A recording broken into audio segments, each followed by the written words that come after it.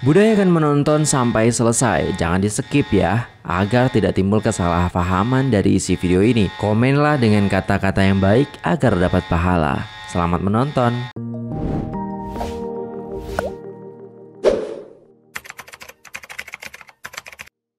Assalamualaikum warahmatullahi wabarakatuh. Jumpa lagi dengan saya guys. Cak Mujib gimana kabar teman-teman semua? Semoga sehat selalu dalam lindungan Allah subhanahu wa ta'ala. Dijauhkan dari segala mara bahaya Malapetaka bencana dan balak Serta berbagai macam penyakit. Amin amin ya rabbal alamin. Oke di sini ada requestan daripada teman-teman sekalian Yaitu dari Legasi Kehidupan TV Jangan lupa untuk di like, share, komen, dan subscribe-nya Di sini ada video Datuk Sri Vida Ziarah Ustadz Kazim Ilyas So langsung saja guys kita play videonya. Let's go. Allah wabarakatuh. Alhamdulillah. Uh, pada petang ni Pusat Pendidikan Barakah ataupun lebih tepat lagi Datuk Ustaz Kazim Ilyas uh, dilawati oleh kediamannya uh, tokoh korporat terkenal, tokoh kosmetik terkenal yang melawat Datuk Ustaz Kazim pada petang ni iaitu Datuk Sri Vida yang hadir ke Pusat Pendidikan Al-Barakah pada petang ini. Terima kasih Datuk Sri Ah, okey. Ini rumahnya beliau ya. Bila dapat maklumat yang Datuk tidak sihat, ah, Datuk Srivida hadir pada petang ini untuk ziarah kepada Datuk Ustaz Kazim Ilyas. Terima kasihlah pada semua yang datang uh, ke Pusat Pendidikan Al-Barakah ni. Amin. Untuk makluman semua penonton-penonton di uh, FB saya. Saya rasa ini kunjungan yang kedua kot uh, selepas 10 tahun. Oh, selepas satu dekad. Hmm, selepas satu dekad uh, Datuk Seri datang. Dulu belum Datuk lagi.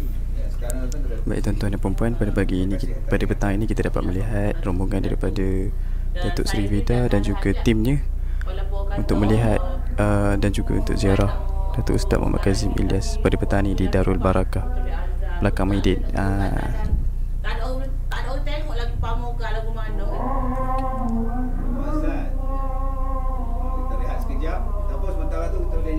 baik tuan-tuan dan puan kita terus kepada kunjungan Datuk Vida di dalam Darul.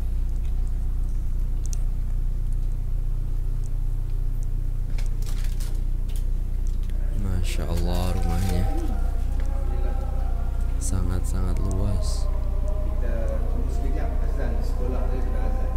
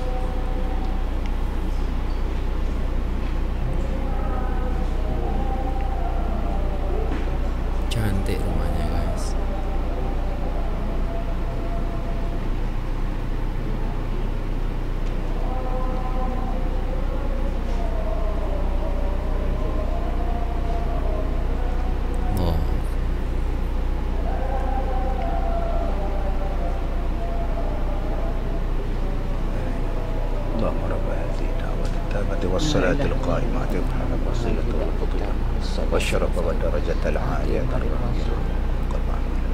إنك لا تخلق الميعاد InsyaAllah berkatlah uh, waktu azan sampai pula. Uh, Alhamdulillah.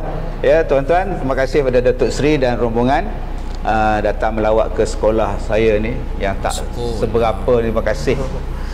Se- Okey Datuk, uh, dari mana kita ni? Jom, saya nak tunjuk je lah Ini uh, pejabat kita Ni bilik mesyuarat kita tu oh. Ini Oh, kalau ada lawatan ke Apa benda ke uh, Di sinilah akan melawat Okey. Nah, ni ni saya panggil tangga Hindustan Oh. uh, Tangga kalau dah jodoh Waktu saya buat uh, Dulu rakaman TV uh, Di sinilah dia Nama dia Oh. Tangga Kalau dah jodoh Tak ke mana Oh. Kita ada rancangan dulu dengan Datuk Ustaz. Dalam hati ada taman. ada, uh, Dalam hati ada taman Kopi Pamoga bersama Ustaz Kazim Oh, dengan uh, Quran. Ah, Quran tajuk digital. Ya, Quran. Jadi banyak saya program. Mungkin uh, tuan-tuan uh, sidang penonton uh, belum tahu uh, sebelum Datuk Seri Vida ni muncul di Astro, muncul di TV3 dan sebagainya dengan macam-macam program kami pernah uh, berkolaborasi dalam Radio Perak dalam rancangan dalam hati ada taman ya yang cukup mendapat sambutan uh, masa itu tajaan uh, pemoga Kemudian Datuk Seri pindah ke program ke Kuala Lumpur, ah, tinggallah saya seorang sini pula. Ah. Jadi kami sempat buat program Kopi Pemoga bersama Ustaz Kazim dengan di TV3 eh. Ah, ah. Ah, TV3 kemudian Quran juga dengan pihak uh, Astro dengan TV3 hmm, Dengan Pamoga. Pamoga juga. Jadi uh, alhamdulillah selepas berapa lama Datuk Seri datang balik ziarah kami di sini alhamdulillah. Satu Dan- dekad. Satu dekad dan dah saya rasa Datuk Seri pun ingat Tapi tangga ni. Ingat. Ha, ingat tangga Tapi ni. satu Main depan. dekat orang lain look lagu Depan. mana? Ha. Kita okey. Ha, dulu Yelah sekarang okey lain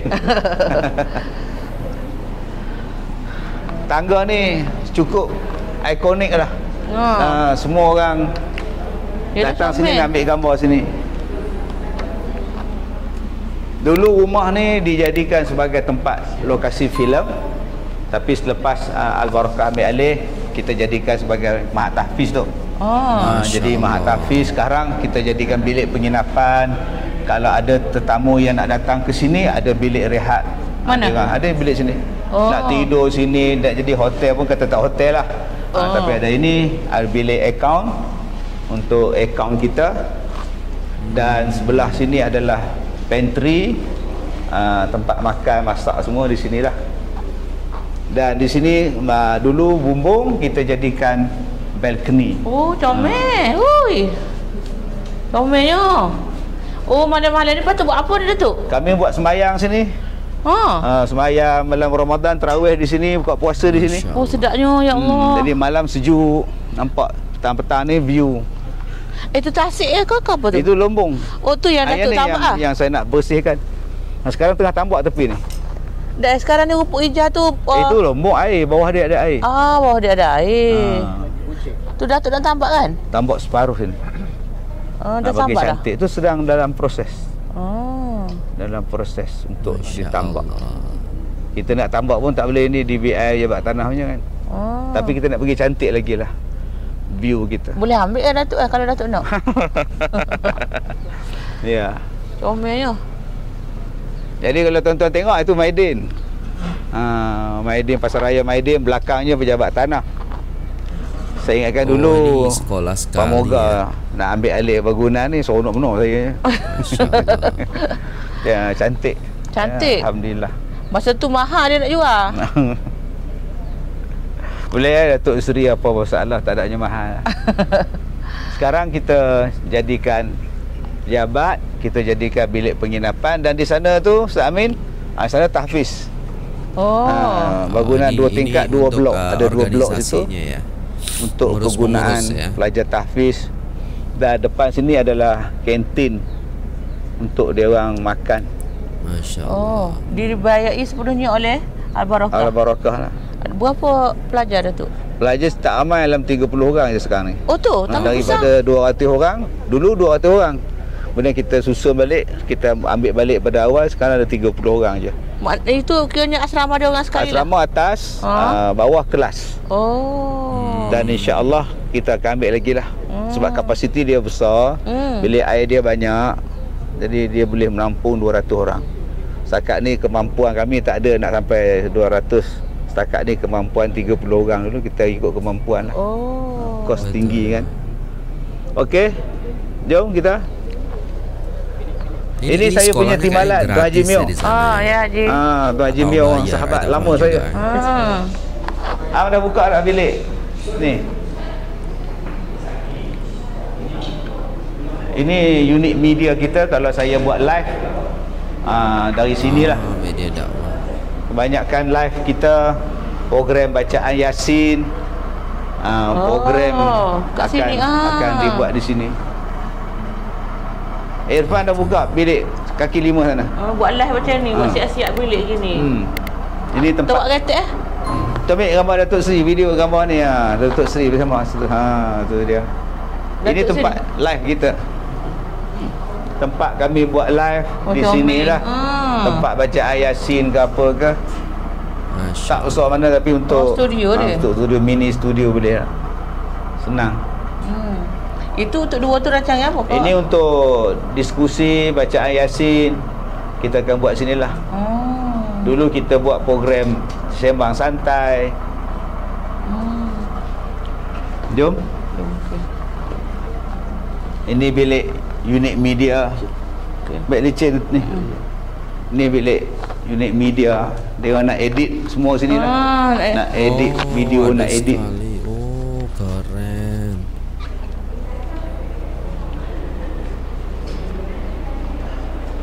Wih, Ni bilik tidur, lagi. bilik rehat. Siapa nak datang boleh rehat sini. Oh, Oh. tembus guys. Masya Allah luas banget ini rumah. Oh, mana ni boleh disewa juga? Boleh? Oh, sini ni ni. Hmm. Boleh. Nak kenduri kahwin ke apa ke. Oh. Selalu orang buat uh, sewaan untuk perkahwinan. Oh lah tak gambar apa cantik apa Hmm. cantik. Ini surau. Hmm. Oh, ini Selalu dia ambil view dengan pokok tu lah. Yalah cantik. Untuk buat perkahwinan. Masya Allah. Woi, view dia Belakang kot cantik. belakang. ya. Kalau tuan-tuan nak datang sini boleh lah. Datuk Seri Vida pun datang. Ha. Sewa sini berapa ribu ni sehari cuma pergi lima ni. Kalau di hotel lima bintang, enam bintang. Fasiliti ada ibadat dan uh, riadah di sini. Kami buat sewaan terpulang pada orang. Oi. Hmm, nak bayar berapa bayar. Lepas api air, elektrik semua, okey lah. Makna biliknya ni, bilik Ini tidur. bilik tidur nak rehat ke apa benda ke. Bilik pengantin nak bersolek ke apa kan di Oh. sini. Oh. So, Mr. Amin. Sini, bilik air pun besar bilik tidur. Oh. Ha, jadi cukup cukup selesa. Oh iya Kalau betul. nak tidur. Puas tu. Ini cuma kita tak masukkan Oke guys, dah selesai videonya. So itulah tadi Datuk Sri Vida Ziarah Ustadz Kazim ya selepas 10 tahun katanya dan Allah dan semoga ya mereka senantiasa dalam lindungan Allah Subhanahu wa taala dan kalau kita lihat istilahnya rumah tadi itu memang luas sangat lah. Memang digunakan untuk uh, pengurus-pengurusan daripada pondok pesantrennya Ustadz Kazim Ilya dan juga medianya ya kan dan juga disewakan guys. Jadi buat teman-teman semua yang mau istilahnya menyewa di sana untuk nikah dan ya masya Allah itu sangat-sangat cantik sekali. Viewnya juga sangat-sangat cantik sekali kalau kita tengok ada sawah dan juga ada pegunungan macam tuh. Wow keren banget. So ya mungkin itu saja video kali ini guys. Terima kasih buat teman-teman semua yang sudah request. Jangan lupa untuk di like, share, komen dan subscribe channel ini. Dan saya pamit undur diri apabila ada salah kata mohon dimaafkan. Wassalamualaikum warahmatullahi wabarakatuh.